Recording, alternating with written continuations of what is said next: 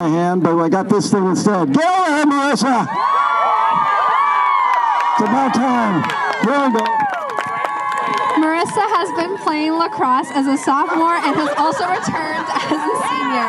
This fall, Marissa will be attending Cal Poly Pomona to study computer information systems and computer science.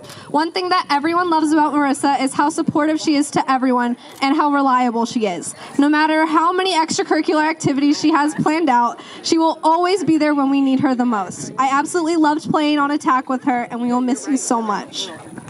And if we're going to run the Baja 1000, we're going to go for as translators down the Baja. Right? With double roll bars. She likes material science, lightweight composites. She's going to build the uh, future Baja 1000 car. Who we got?